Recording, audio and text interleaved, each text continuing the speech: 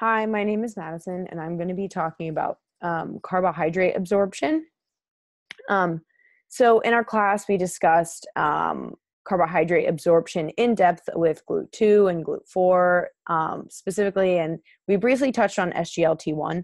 Um, I wanted to kind of go more in depth into SGLT1 as it's an important process, and um, I think this diagram can be a supplement to our education um, on um, glucose absorption in the small intestine. So anyway, so um, for those who who don't know, or here's a little a little bit more introduction to the topic, a little uh, background.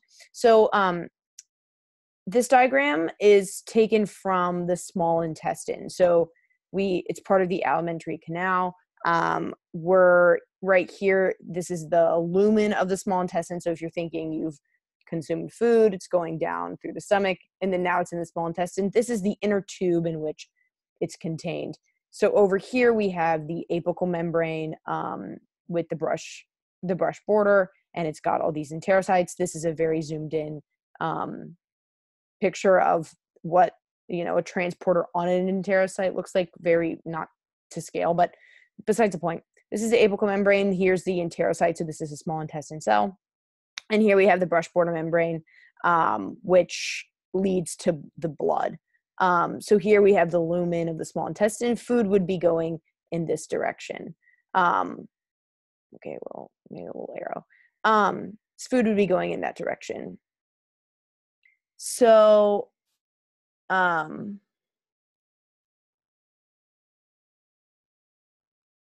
um, okay so food would be going in the downward um direction. Sorry i have to turn on the draw for this. Okay so food would be going in the down direction down here. And so um here we have glucose galactose and fructose which are the three um monosaccharides that make up our diet. So they make up polysaccharides and disaccharides and um, we have three main ones that are part of the food that we eat and that we digest to get to these base monosaccharides so that we can absorb them absorb them. And so we have fructose galactose and glucose. Glucose is the main one that um, we all know about and that um, is m- almost well all the monosaccharides are at some point broken down into glucose to be used um, for body pro- bodily processes. Um, so at low lumen concentrations of glucose and galactose, SGLT1 is what is used um, to transport these into the enterocyte. So when there's low concentrations, one or the other one will be using SGLT1 um, to get into the enterocyte. So it, this kind of is kind of confusing, but only one, either glucose or galactose molecule will um, be able to attach to SGT, SGLT1. Um, additionally, with any molecule, any monosaccharide that attaches here, we'll be using um, two sodium to cross those, to cross one of the monosaccharides into the enterocyte. Um, so this this SGLT1 technically uses energy, but um, and it has to create has to use sodium to move things into the cell. So the SGLT1, um, you know, will let it into the enterocyte. The molecules will move by themselves um, down this way to GLUT2 Um, and then through GLUT2 they will go into the portal vein or into the blood. Um, these sodium molecules will will move through the enterocyte and move out of um, the enterocyte through the sodium potassium pump. So the sodium concentration is generally high in the lumen, and so it's just taking sodium and putting it out and potassium is being put into the enterocyte um, to create that gradient um, to be able to move those molecules across.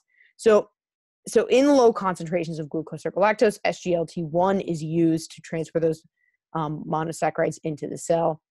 These monosaccharides are then put through GLUT2 in the enterocyte to move into the portal vein or to the blood and to the liver and different places all around the body, depending on what molecule it is. So GLUT5 always takes in fructose. GLUT5 is a passive transport molecule, or it doesn't require um, the sodium like SGLT1 does. So fructose moves in through GLUT5, and fructose goes the same way out of the enterocyte through GLUT2. So technically, all of these monosaccharides use GLUT2 on the basolateral membrane to move out into the blood and um, into circulation into the body.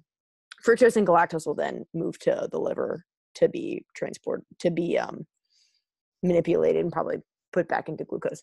So um, all molecules are moved out of GLUT2 and into the portal vein. So um, I think that this may help um, anyone kind of um, confused about the transport of um, uh, the transporter SGLT1.